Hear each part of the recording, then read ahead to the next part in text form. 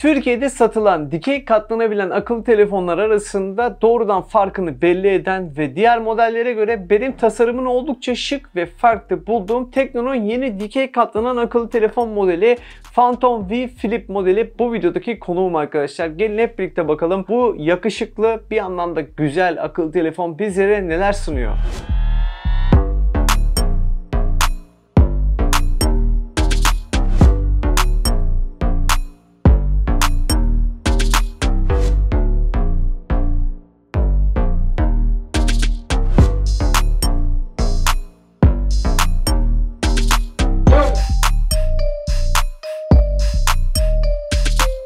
Sevgili arkadaşlar bu telefonla alakalı konuşulacak gerçekten önemli şeyler var. Ancak sizlere şunu söyleyerek bu videoya başlamalıyım diye düşünüyorum. Elime tutmakta olduğum bu katlanabilir akıllı telefon bence bir amiral gemisi sınıfına girebilecek bir akıllı telefon arkadaşlar. Doğrudan bir kere videonun başında bunu söylemek lazım. Performansın yanı sıra cihazda kullanılan malzeme kalitesi ve deneyimi üst düzey seviyede bizlere yaşatabiliyor. Phantom V Flip modeli arkadaşlar. Dış ekran çok güzel gözüküyor. Tasarımdaki bu dış ekrana bayıldım arkadaşlar. Bir kere diyerek kendini rakiplerinden ayırmayı başarıyor ve bu sayede de farkını belli ediyor diyebilirim sizlere. Arka kapakta yine Tekno dokunuşunu görebiliyoruz. Çok şık gözüküyor. Bu arada kutudan kılıf da çıkıyor arkadaşlar. Tekno aslında bu katlanabilme konusunda gayet başarılı modelleri bizlerle buluşturuyor. Çok kısa bir zaman önce sizlere biliyorsunuz Fold modelini de burada anlatma fırsatına erişmiştim. Bu arada buradan Tekno'ya da teşekkür edelim arkadaşlar. Hem ülkemize en yeni cihazlarını hızlıca getirdikleri hem de bana şahsi olarak bu fırsatları sundukları için sizlerden de kanalıma abone olup videolarımı beğenip düşüncelerinizi yorumlara yazmanızı rica edeyim. Ve şu katlanma izi meselesiyle devam edelim isterseniz. Katlanma izi noktasında Tekno çok başarılı bir noktaya geldi diyebilirim sizlere. Yine ve Philip'te de bunu görüyoruz arkadaşlar. Katlanma izi konusunda oldukça başarılı bir sonucu bizlerle buluşturan bu akıllı telefon kapanınca da neredeyse arada sıfır boşluk bırakarak rakiplerine baktığımızdaki bu durumun çok ötesinde bir cihaz olduğunu bizlere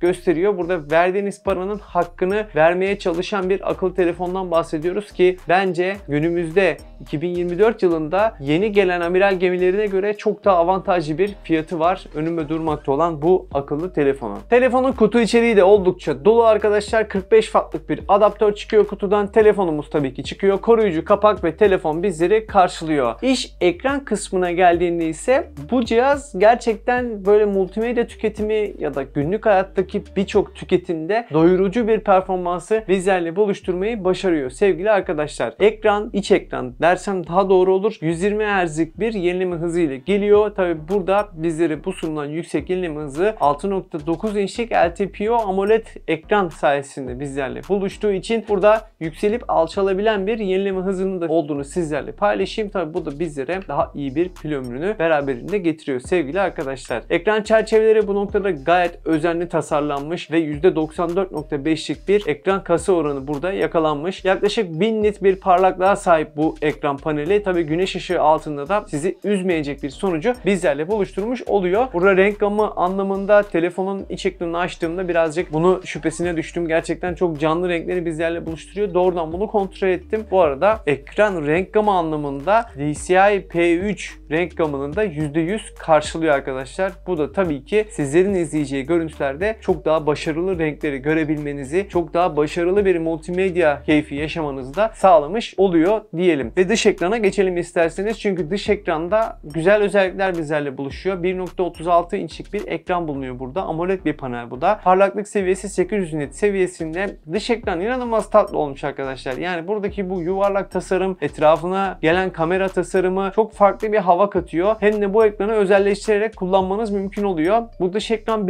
bildirimlerin yanı sıra gelen çağrıları açabileceğiniz ve hızlıca emoji ile mesajlara cevap verebileceğiniz bir desteği de sunuyor. Aynı zamanda buraya 3 boyutlu avatar ve animasyonlar da koyabiliyorsunuz. Gerçekten çok şık duruyor. Dediğim gibi videonun başında dikey katlanan modellerdeki dış ekranın çoğu zaman o yetersiz ya da gereksiz kaldığı noktaların çok ötesine geçmiş oluyor. Yıllardır katlanabilir telefon üreten birçok markaya göre çok daha efektif bence burada kullanılmış. Bunu da söylemeden geçmek istemedim gerçekten. Ellerini tebrik ediyorum bu noktada. Ekranla alakalı tabii yorumlarım sizler için önemli biliyorum. Ekran şöyle arkadaşlar hem iç hem dış ekranda gerçekten kusursuz seviyede bir ekran paneli bizlerle buluşuyor bence. Multimedya tüketimi olsun, burada oyun olsun bir amiral gemisi cihaz deneyimini sizlere katlanabilir olmasına rağmen sonuna kadar yaşatmayı başarıyor. İki ekranlara renk konusu gerçekten oldukça doyurucu. Cihazda bulunan stereo hoparlörlerde buradaki deneyimi başka bir seviyeye çıkartıyor. İnce uzun bir ekran var biliyorsunuz bu akıllı telefonda ve bu ince uzun ekranın keyfini de bölünmüş ekran sayesinde farklı bir seviyeye çıkarmanız mümkün oluyor. Yani ekranın bölünmüş olarak kullanıldığı bir senaryoda sağ tarafta takvim açıkken sol tarafta sizler rahatlıkla arkadaşlar burada not alabiliyorsunuz ya da bir videoyu tüketebiliyorsunuz. Videonuzu izlerken takvimden de programınızı kontrol edebiliyorsunuz. Bunlar böyle kulağa bazen gereksiz özellikler gibi gelebiliyor kullanıcılar için. Ancak kullandığınız zaman gerçekten severek kullanacağınız ve vazgeçemeyeceğiniz bir halde alıyor. Bu konuda da bana güvenebilirsiniz sevgili arkadaşlar. İşin performans tarafına baktığımızda Tekno burada bilinen bir işlemci bizlerle buluşturmuş. Bu işlemciyi gerçekten seviyorum ve dediğim gibi bildiğim, tanıdığım bir işlemci modeli. MediaTek'in Dimensity 8050 işlemcisi kullanılıyor. 6 nanometrelik bir üretim süreciyle geliyor bu işlemci ve günümüz şartlarında fazlasıyla doyurucu bir performansı bizlerle buluşturuyor sevgili arkadaşlar. Üst düzey bir performansı bizlerle buluşturabiliyor bu işlemci. Hem iyi performansı hem de iyi bir verimliliği bizlerle buluşturmayı gerçekten başarıyor. Burada cihazda 8 artı 8 yani 8 fiziki 8 sanal olmak üzere 16 GB'lık bir RAM kapasitesi de bulunuyor sevgili arkadaşlar. Tabi bunun yanında 256 GB'lık bir depolamamız da var. MicroSD kartla burada hafızayı yükseltemeseniz de cihazda bir çift sim kart girişinin olduğunda sizlerle paylaşayım sevgili arkadaşlar. Günlük hayatınızda yani günlük kullanımınızda bu akıllı telefonun Dimensity 8050 ile beraber sizleri performans anlamında üzmesi bence mümkün değil arkadaşlar. Yani çok çok zor gerçekten. Onu sizlere gönül rahatlığıyla söyleyeyim. 8050 5G burada tabi sizlere çok ciddi iyi bir performans sağlarken 5G ülkemizde kullanıma sunulduğu zaman da burada 5G optimizasyon noktasında başarılı bir sonucu sizlerle buluşturabilecek bir işlemci modeli. Bunu da eklemek lazım. Burada özellikle artık yeni akıllı telefonlar alırken 5G'yi de hesaba katmak, 5G'ye göre de birazcık davranmak lazım. Çünkü ben öyle tahmin ediyorum ki önümüzdeki 2 yıl içerisinde ülkemizde 5G'yi de her yerde artık aktif etmeye çalışacaktır operatörler. Dolayısıyla böyle bir yatırım da aslında yapmış oluyorsunuz kendinize bir akıllı telefon alırken. Bu cihaz o yatırımı karşılayacak cihazlardan bir tanesi olarak karşımıza çıkıyor arkadaşlar. Cihazın segmentinden açıkçası beklediğim bir performansı benimle buluşturmayı başardı arkadaşlar. MediaTek'e olan ön yargıların yıkıldığı bir işlemci serisi Dimensity biliyorsunuz ki birçok modelde de birçok cihazda da bunu gördükçe sizlere söylüyorum. Bu cihazda da muhteşem bir sonucu benimle buluşturmayı başardı. Ne yaparsanız yapın bu cihazda memnun olmama ihtimaliniz performans anlamında bence yok sevgili arkadaşlar. Gelelim işin burada tabii ki yazılım tarafına. Cihazda Android 13 var ve HiOS 13 Flip arayüzüyle geliyor. Flip yani dikey bir arayüzü var bu cihazın. Buna özel üretilmiş, buna özel yazılmış bir arayüzü var. Bu noktada Tekno'yu tebrik etmek lazım. Çünkü burada cihaza özel optimizasyonlar yapmışlar ve yaklaşık 2000 uygulama burada optimize edilmiş. Bu açıdan da tabii ki çok güzel sizler için. Bu arayüzü ben seviyorum. Tekno'nun cihazları teste geldiği zaman mümkün olduğunca günlük hayatımda kullanmaya çalışıyorum. Yanımdan ayırmamaya çalışıyorum hatta öyle söyleyeyim. Ve gün sonunda şu kanaate vardım. Alıştıktan sonra Tekno'nun kullanmış olduğu bu arayüz gerçekten vazgeçilmez bir arayüz olarak bizlerle buluşuyor. Bu noktada sizlerin de arasında Tekno kullananlar varsa mutlaka yorumlarını aşağı yazsınlar. Hem fikir miyiz gerçekten çok merak ettim. Telefonun kameralarına bakalım isterseniz. Çünkü kameralarda artık biliyorsunuz hepimiz için oldukça önem arz ediyor sevgili arkadaşlar. Ana kameramız 64 megapiksel f1.7 diyaframına sahip bir kamera arkadaşlar. OIS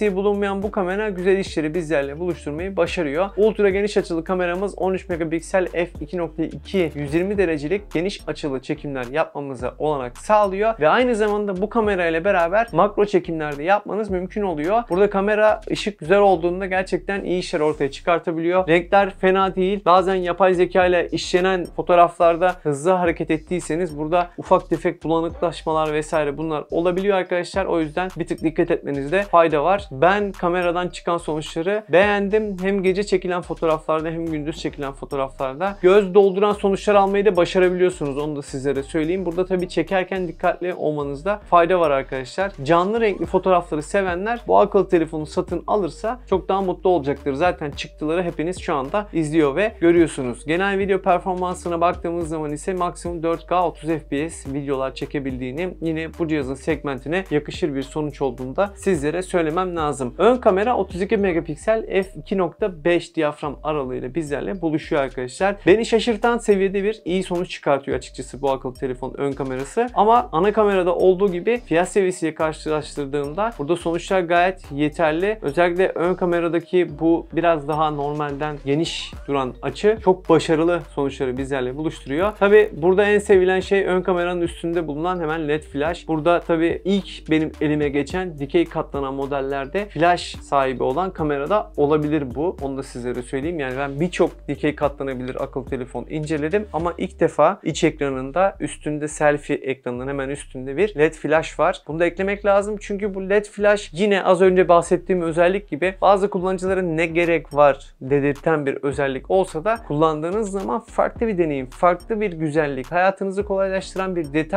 ve gün sonunda yok ya bu olmadan da olmuyormuş diyebileceğiniz bir özellik olarak bizlerle buluşuyor. Dolayısıyla bu cihazda olması bence gayet yeterli olmuş. Aslında bu telefonun ön kamerasını tabii ki çok fazla konuşabiliriz ama zaten dikey katlanabilir bir cihaz olduğu için gönül rahatlığıyla arka kameraları da selfie çekmek için kullanmanız mümkün oluyor. Tabii bu da sizlerin buradaki kamera performansını, selfie anlamındaki performansını başka bir boyuta taşıyor arkadaşlar. Bunun da avantajından bahsetmeden geçmek istemedim açıkçası.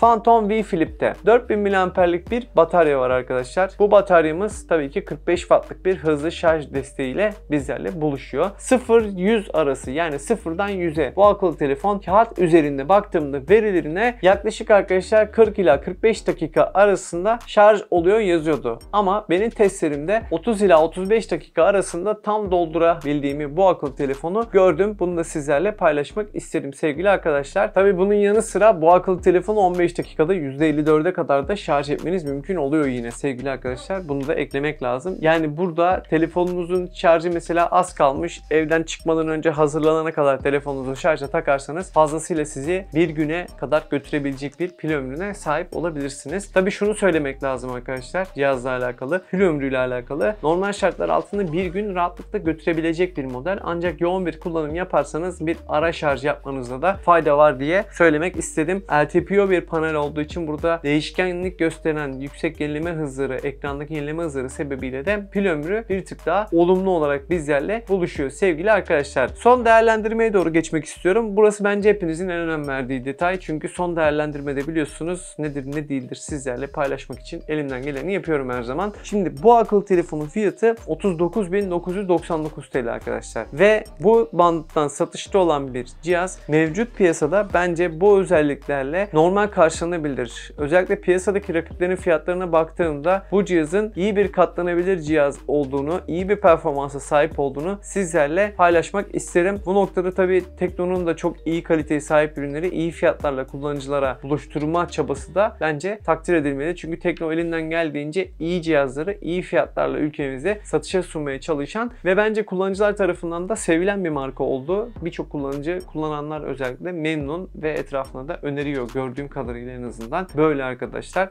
amiral gemisi sınıfında bütçe sıkıntısı olmadan bir fiyat performans katlanabilir akıllı telefon arayışı içindeyseniz bence Tekno Phantom ve Flip'e bir göz atın derim sizlere arkadaşlar. Güzel bir cihaz olmuş. Dediğim gibi 40 bin lira diyelim bize de düz hesap bunun fiyatına. Şimdi günümüzde artık orta seviyenin bir tık üstü cihazlar zaten 30 bin liralara kadar gelmişken katlanabilir bir cihazı bu fiyatlara hem de güncel olan bir cihazı satın alabiliyor olmak bence avantajlı. Tabi bu noktada sizlerin düşünceleri benim için her şeyden her zaman olduğu gibi çok daha önemli. Yorumlarınızı yazmayı, bu videoyu beğenmeyi ve kanalıma abone olmayı lütfen unutmayın. Bir sonraki videoda görüşene kadar kendinize çok iyi bakın. Hoşçakalın efendim. Bay bay.